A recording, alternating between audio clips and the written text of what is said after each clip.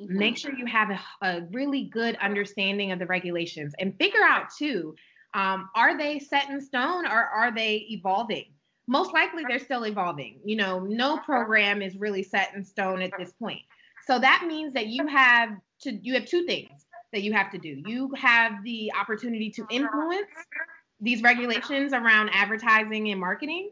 Um, and you should really think about what you want and also what is feasible you know why that there are these restrictions and come with a solution that could potentially be um, accepted. And I, I would really be pushing forward with what i wanted to see because i mean i don't think people understand how much power we have when it comes to that. Like we can we can't make our laws and regulations, but um, almost if you you almost can if you have the right relationships with your um, state legislators.